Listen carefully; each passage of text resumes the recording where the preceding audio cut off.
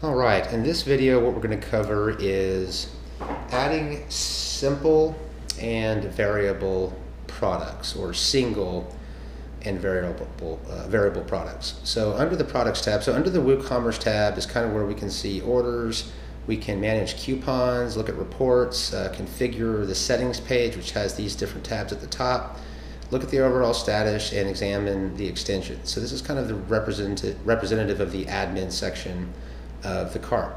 The products are going to be isolating or, or, or, a section that just isolates the products themselves, the categories the products belong in, any tagging you want to use with the products, and then really what we're going to cover here is the attributes and how that relates to um, variable products.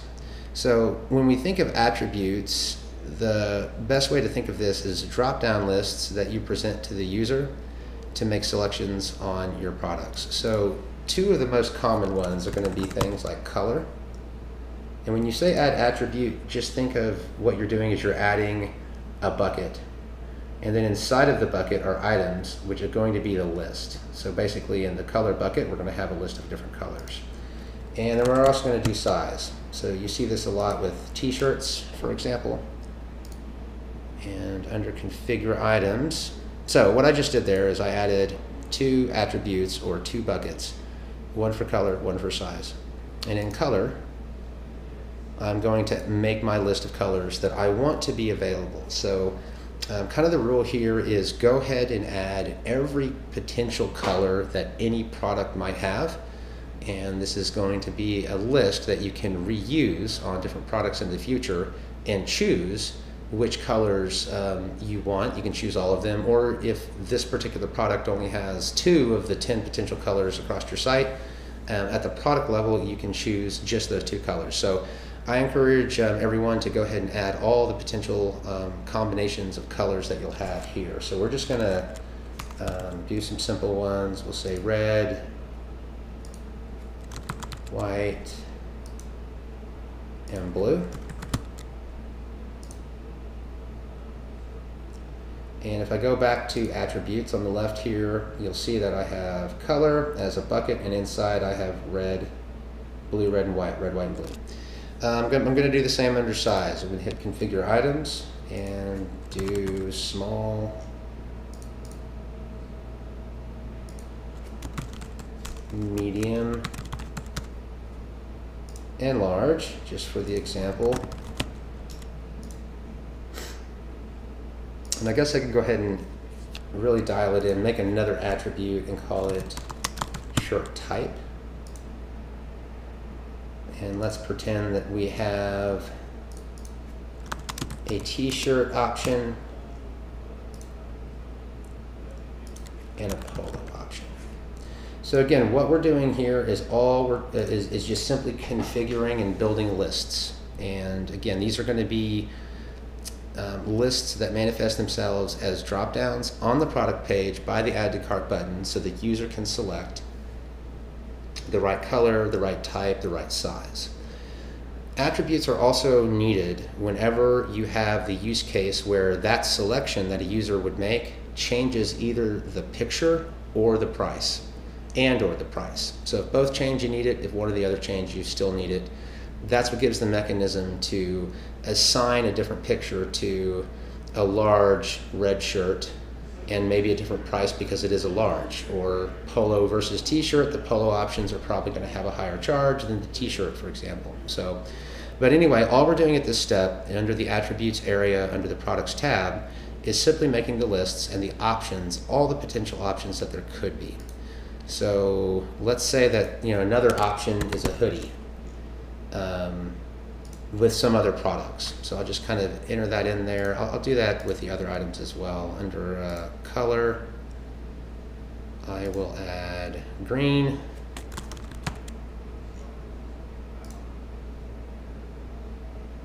And under shirt type, oh, oh, oh, under size, I'll add extra large and again, I'm not going, I'm, I'm going to intend now to not use some of these, but that's perfectly okay. So again, the exercise here is make your bucket of things that will have uh, lists inside of them and go ahead and list out everything you think you'll need. If you find later that you need an option that isn't available, you just come back to this area and either add a new attribute or add to um, a list of terms uh, that already belongs to a current attribute. So for example, if a new color of shirt comes in, you can always go back here and add it and then make use of it in your cart. So now that we have these um, done first, and that's important that we get those done first so that we can use them later, um, we now go to add new. And you'll have a new button at the top and you see different uh, post types, that's what WordPress calls them. And you would choose new product, you hit add new under products, both get you to the exact same spot. Um, and again, so we have simple product and variable product are the two that we're going to go over in this video. Um, group product and external affiliate product we'll, we'll do in another video. But right now, simple and variable. So simple is just that. It's very straightforward. We're going to put in t-shirt, um, uncategorized isn't really, you know, I'll just say apparel is um, a new category that I should have added under categories, but I can add it here. If I want to add a picture or description to that category to make use of it elsewhere in the cart, I need to open the category section and then inside the apparels category, I can add an image if I need to. But back to entering the product. So it's not virtual or downloadable. So we're, we're talking about products that will ship. Otherwise, if you do this, it kind of gets into um, the options of how do we deliver the file um, or downloadable item to the user. But we're just going to assume basic products, and we're going to say our t-shirt is $15. No sale price, it's taxable. We'll go to inventory. I always suggest you give um, a SKU number to all your products. This manage stock here, it's totally optional. If you click it, you need to give a quantity. And if this quantity gets sold through the cart, it's going to do two things. It's going to send you a notice that you're out, and it's going to prevent other users from adding it to their cart and buying it. If you turn this off, then that will never be the case. So just kind of think about your use case where the stock uh, management is needed. If you sell one-off items, like you know the the picture is the item, and when you sell it, it's gone. This is usually a good scenario. So you enable stock management, you only allow one to be sold, and then that prevents it from being sold in the future. In this case, we'll disable that. Um, under shipping, again, shipping is a kind of a different universe. It depends on what you're selling, how far it's going, um, what your margins are, what kind of specials you have. Is it tiered over a certain price? There's many, many different shipping options, but this is where you would enter the weight and the dimensions of the item um, if those if that information was relevant to some third-party shipping plugin. There's also the idea of shipping classes, which we can define, which is under the WooCommerce uh, settings area under shipping. I'll just kind of show you where that is. And you get this idea of shipping classes, shipping options, and shipping zones. Um, linked products, this is kind of premature unless you have other products already in the site. I suggest you enter products first and then come back and kind of uh, play with this tool. Attributes. So in this case, there are no attributes because we just have a simple product. Um, let's, let's just use this image as a placeholder image. Let's pretend that's a t-shirt. Um, shirt description would go here, and this is really all you've got to do for a simple product. Give it a title, give it a description, categorize it, give it a picture, um, fill out the basic information, you know, like price, all that good stuff, and then you hit publish.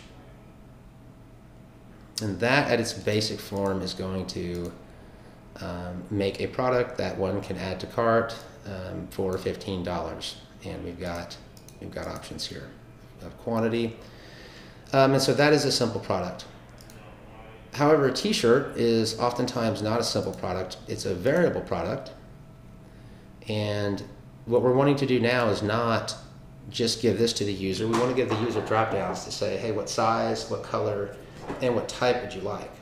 So to do that, the first thing we have to do is say product data. We have to change it from simple to variable. Okay, and then that changes a few things. So notice how under simple the regular price goes or is there, but under variable it goes away. That's because there is no single price now. There's going to be a price potentially per variation. And we also get this variations uh, tab down here. So the inventory, the shipping, the linked products are going to be the same. The attributes now become a little bit more meaningful. So in the attributes tab, we're going to look at the drop down and we're going to see the different um, attribute lists that I have made. So that list right here, okay, corresponds to my attribute list under the products tab, shirt, uh, shirt type, color, size, and we have that right there. So I'm telling this product, hey, I want to add the ability for the drop down of color to be available, so we add that. And it asks me, okay, do you want this visible on the product page? The answer is yes, because we want this to be a drop down presented to the user. Do we want to use this for variations? In this case, I'm going to say yes. That's because I intend on changing the price or the, or the image when you make a different selection. If you don't do this, then it necessarily doesn't become different variations. It just becomes a selector that you need to know to fulfill your order. So an example would be, let's say I've got small, medium, and large and extra large, but it doesn't matter what size you need. It's all the same price. It's all the same color t-shirt um, I just need to know what size you need, then you would uncheck this so that it doesn't actually create different variations of the product. You just have one product in your inventory, it's all the same price. Sure, it comes in different sizes, but that's all you need to know. Um, them selecting a different size isn't going to change the picture or the price. Only when that's the case do you need to choose use for variations. Then it's going to ask you, okay, of, of the items in your list, blue, green, red, and white, which ones would you like to add? So I'm going to say, well, let's put them all in there and but for green, okay? So that's what I was wanting to show you earlier. And then I'm going to hit save attribute. And now we have the color available to us. Then I'm going to say, let's bring in the shirt type as well. Visible. I want the user to see a drop down. Yes, it will be used on product variations. Let's get them all in there and uncheck hoodie. Hit save. And then we'll bring a third one in of size and we'll add that and we'll add them all and we'll pretend that we're, we don't have any smalls left. So we'll just take that out. Or maybe small isn't relevant, maybe small is a size on some other product or, or whatever. We'll save attribute. Now, what we've got going on here, you can do some simple math. We have one, two, three options in the color we have two options for shirt type and we have three options for size. So 3 times 2 is 6, 6 times 3 is 18. So there's technically 18 different products we can have, assuming you can get any variation in all the others. So if I can get a blue, medium polo, um, and you know, polo in all the colors and sizes, and a t-shirt in all the colors and sizes, we're going to have 18 different potential variations. And that can kind of get annoying. Um, you know, if I were to add back in here hoodie, well, now we have 3 times 3, that's 9, times 3, that's 27 variations versus 18. So you can see the compounding effect if you need those drop downs to translate into a change in price or change in picture. So what we're looking at here is we've got, um, we're, we're going to introduce the drop downs on this page of color, oh, I lost my product page. Color, shirt type, and size. And these are going to be the options in each. Okay, so let me just make sure I'm saving that. And now when we go to variations, WordPress, I've seen this not be perfect, but WordPress gives you this really nice option, create variations from all attributes. So that's going to do the math that I just did a second ago. We should get 18 products that kick out with all the potential variations. Then we'll need to go in and change the price and or picture and different information on each. We can also change the description. But let me click on this and hit go. And it's saying, are you sure you want to do this? This will create a new variation for each and every possible combination of variation attributes and it'll only do 50 so keep that in mind I think we're okay we should only have 18 if this works 18 variations added so This just saved a lot of time coming up with all the combinations.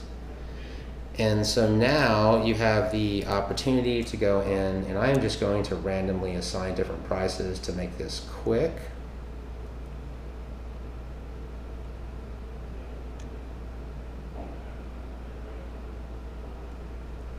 Let's see, where am I at? Okay. Say $14 on that. Uh, I'm just going to do outrageous numbers so we can see the effect.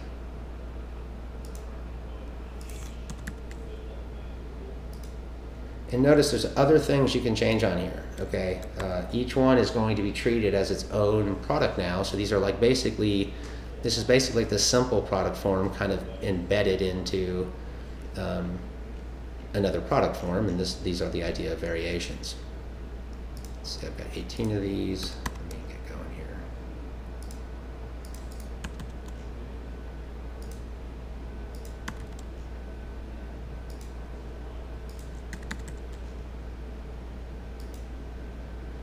Notice this is where you would upload a different image. So obviously if you had the colors we're talking about, that would be your opportunity to upload, in this case, a red t-shirt, um, one of the large ones. But changing the prices should illustrate how it works when this all gets saved.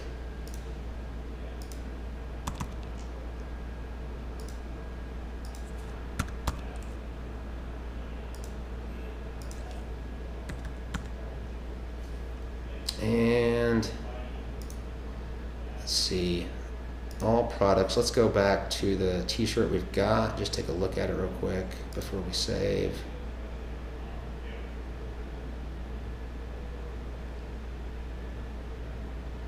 So currently thinks it's out of stock. Let me save changes here.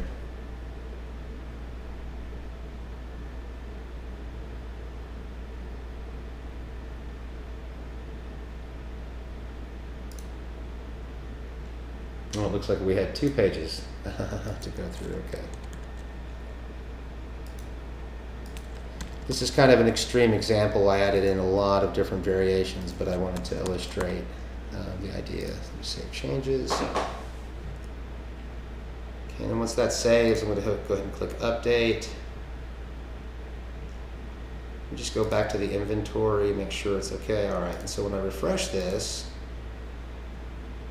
awesome.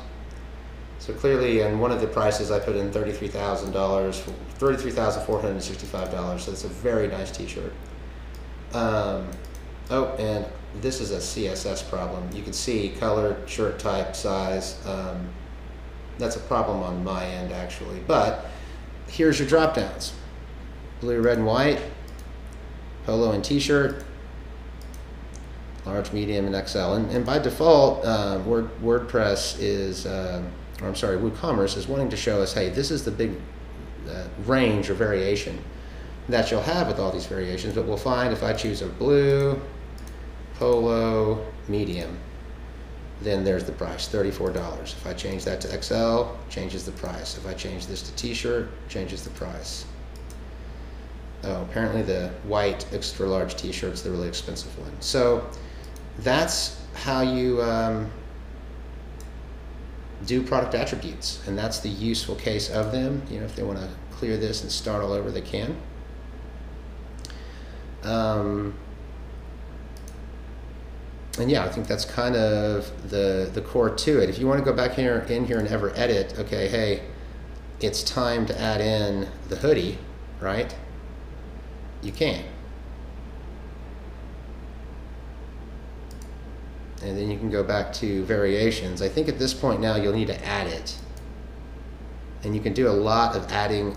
Uh, I didn't really go over this list, um, and it's kind of outside the scope of this video. It's the variation that we're, we're after. This is how you can add any variation. This is how you do it manually. Let's say we had a blue hoodie, uh, large. And then we'd have to do this for all the different hoodie options. But if I save this,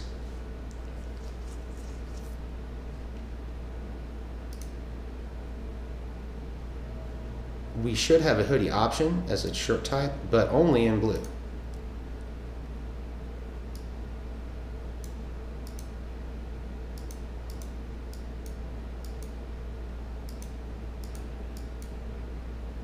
Oh, what did I do wrong?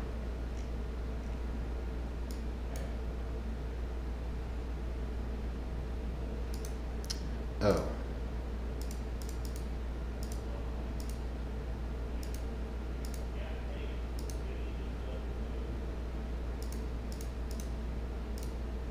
I'm not sure.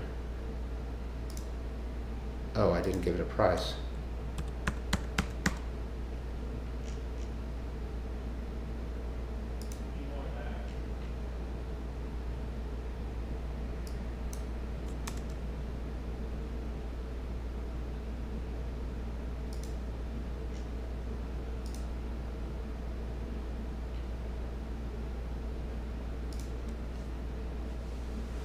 Gotta give it a price.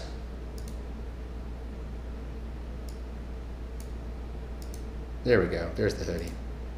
But you'll notice I don't get any other option because it only comes in large. Also, if I uh, go to color, I don't get any other option in color either because I chose hoodie. Now, if I go to polo, I'll get all the colors and I'll get all the sizes because those options exist. So that's how that work. It, it, how that works. If you wanted to just throw in a large blue hoodie into this lineup, um, that's how you could do it. So anyway, I hope this um, was helpful and shows you how to use the idea of product attributes to introduce drop-down lists for the user and how that translates into using it in a variable product where you can create product variations from those attributes. So uh, that will conclude this video. Hope it helped, and I'll see you on the next one. Thanks. Bye-bye.